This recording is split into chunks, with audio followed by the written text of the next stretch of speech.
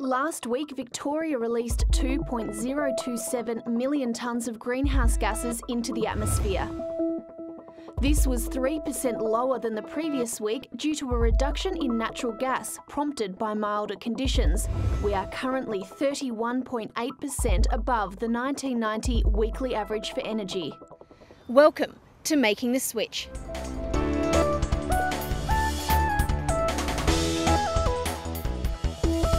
Hello, I'm Lisa Corduff. On tonight's show, we bring you forward thinkers, individuals who are taking their industries towards a greener future. First up, the fashion industry. As awareness of the footprint our consumer choice is leaving on the planet grows, so too do creative, outside the square solutions. For example, when I see a billboard, I see a billboard. Have a look at what Scott Kilmartin sees. Wow!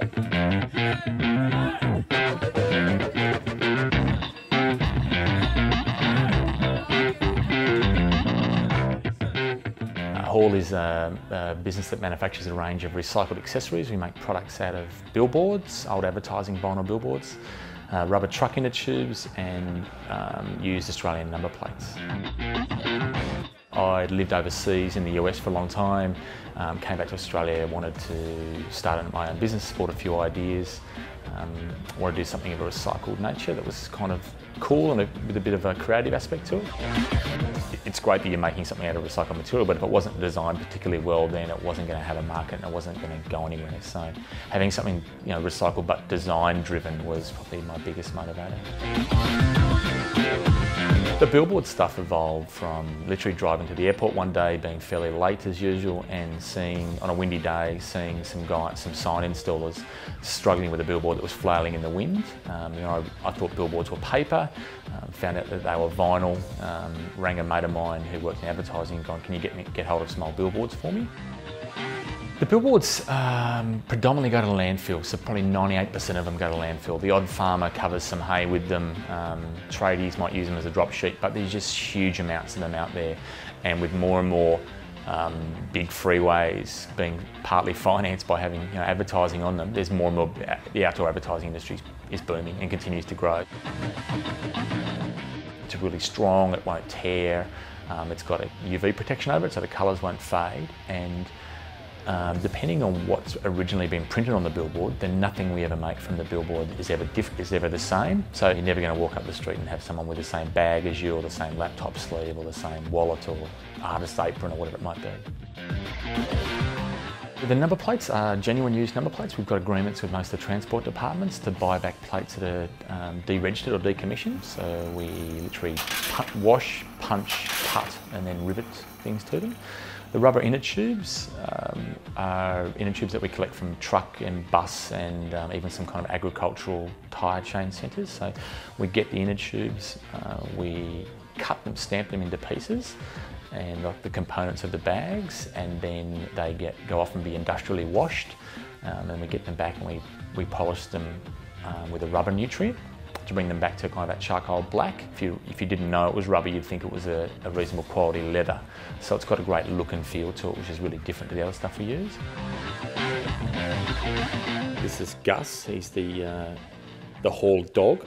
He's a failed security guard. We had a laptop stolen from the shop while he was snoozing in the corner. So to earn his keep, he's going to have to come out with his own. He's going to bring out his own range of collars and leads.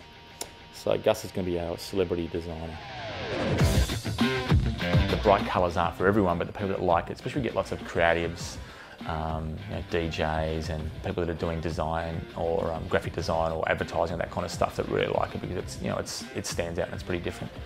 We've at various points done things out of street signs, um, which were great but often hard to get hold of, so they're a, bit, a little bit limited, but um, cans are the next things uh, on the agenda we want to, I guess, get into making you know, a range, more bags, um, some things like you know cycling panniers or saddlebags and surfboard covers, and you know it's pretty much um, endless in terms of what the material lends itself to do.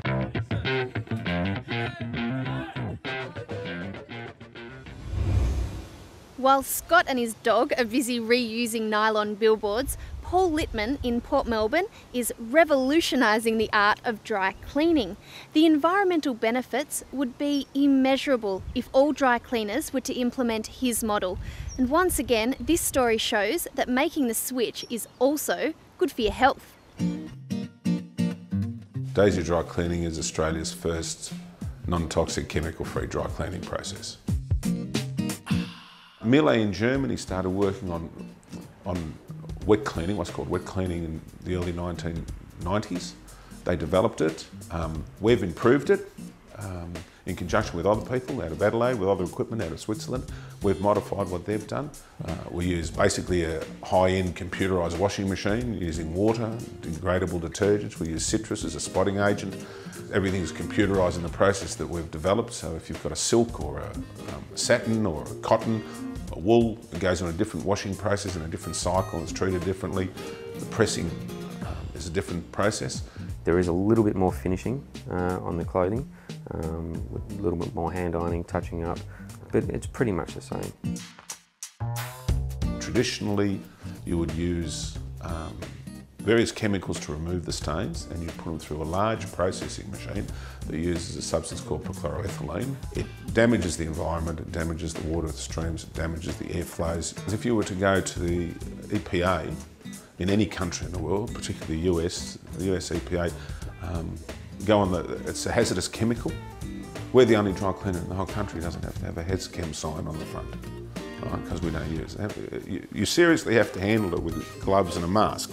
It's a great cleansing agent. There's no question it's a great cleansing agent. It does a wonderful job in cleaning your clothes, but it's unnecessary as far as we're concerned in 97, 98% of garments. So we choose to use the 97, 98% of garments and clean them in a substance that won't destroy the environment. And the 2% that we can't clean we'll send off to somebody that has a chemical processing machine. The significance of, of dry cleaning to the consumer is minimal the want to travel a distance is minimal, um, so dry cleaning is still a convenience uh, product as far as the consumer is concerned. The interesting proposition with people is they actually take the doona to the dry cleaner to kill the dust mites so their children don't suffer from asthma and the perc can induce asthma attacks. That's the irony of life at the present moment. Working with the, the chemicals I, I worked with in the past, I nine times out of ten at the end of the day I'd go home with a headache, um, itchy fingers and skin.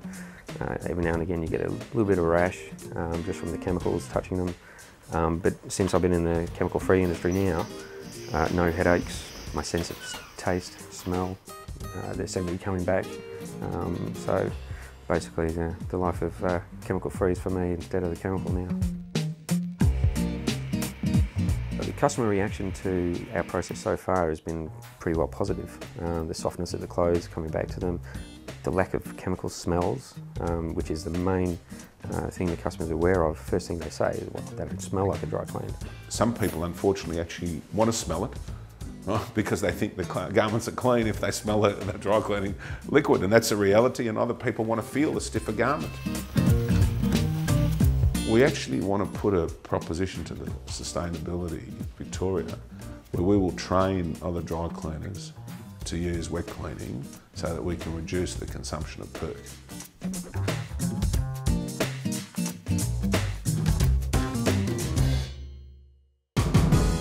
When doing your washing at home, switch to a cold wash every time and save up to 4,300 black balloons and approximately $30 a year. After the break, we visit a hotel that's not only four stars, it's four green stars, and tips on buying appliances.